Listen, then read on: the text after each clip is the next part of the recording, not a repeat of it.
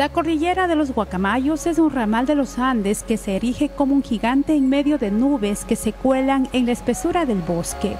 Tiene 65.000 hectáreas entre los cantones Quijos y Archidona.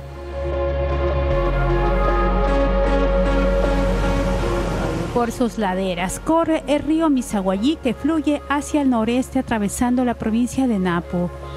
La parroquia Cosanga, donde predomina el bosque nublado, es el punto de ingreso. Cedros, aguacatillos, porotillos, arrayanes y motilones de hasta 15 metros se entrelazan formando un manto a lo largo del sendero. En esta área hay 22 especies de árboles. Hace 12 grados centígrados y las lluvias aquí son fugaces pero frecuentes. Bajo la cortina de agua, una tangara dorada se baña.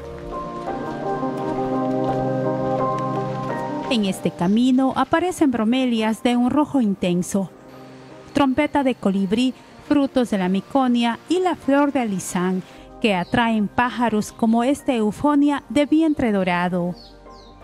Cámaras trampa han captado a osos de anteojos que dejan huellas en árboles de aguacatillo para marcar su territorio, u ocelotes cazando en una ladera. Hay 32 especies de mamíferos. Hacia la parte baja de la cordillera, 38 kilómetros al norte, abundan los árboles de canelos y ponce.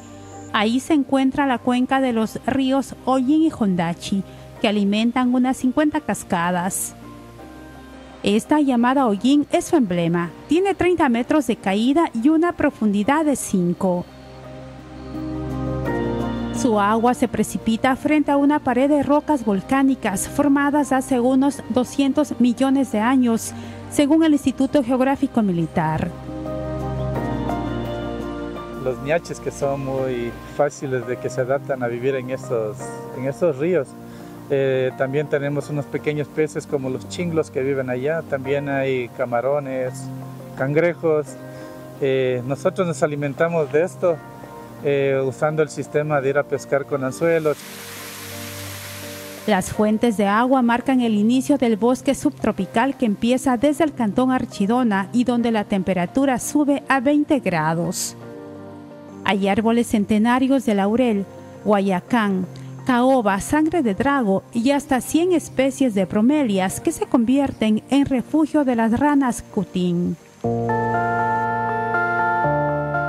Con su verde casi fosforescente, este escarabajo sorprende mientras succiona la savia de una bromelia. Y este mil pies se desliza por un suelo húmedo donde proliferan hongos campana.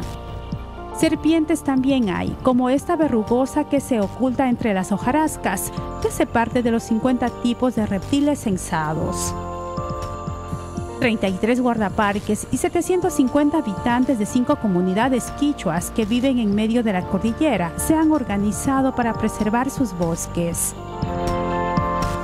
A través de, los programas que se manejan, como el control y vigilancia, el monitoreo de biodiversidad, la educación ambiental, eh, que son actividades que netamente se concientiza a la ciudadanía en el cuidado y preservar todos los la flora y fauna.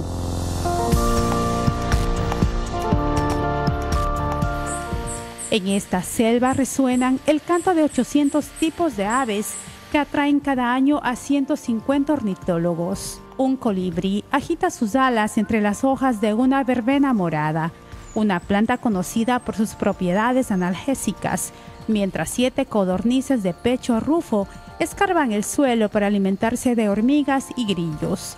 Y un búho con plumas blancas en el pecho descansa entre ramas de bambú. Al caer la tarde, el grito de un mono chorongo se funde con el zumbido de las cigarras. Los 90 picos nevados de la cordillera de los Guacamayos resplandecen con los últimos destellos del sol, subrayando la silueta del volcán Sumaco.